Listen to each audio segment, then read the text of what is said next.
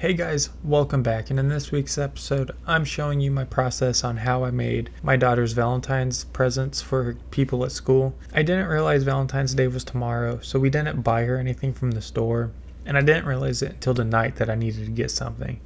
So I have these wooden circle disc things with a hole in them. I just bought them in bulk off Amazon, and I thought that this would be the perfect project to use them on.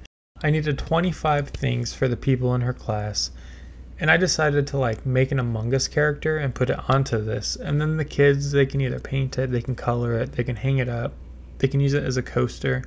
They can do whatever they want with it, but it's something a little more personable than just a regular store bought card. This is going to be my process on how I just turned out 25 of these things. I think everything all together took 15 minutes to cut them all once everything was ready and set up. That's not bad, and it was quick. I'm not going to talk this whole video. I hope you guys enjoy it, and I'll just get to this process and let you guys watch it and let me know what you think.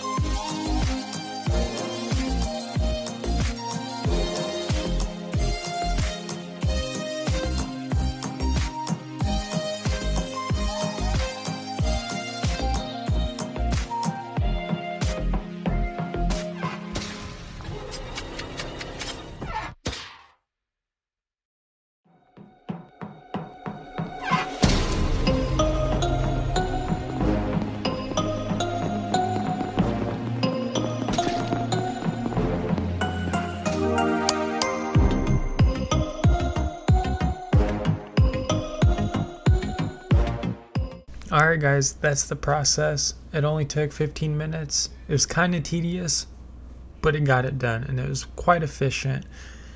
If you like the video, give it a thumbs up. It supports the channel. Give it a subscribe also. I would love to grow this community.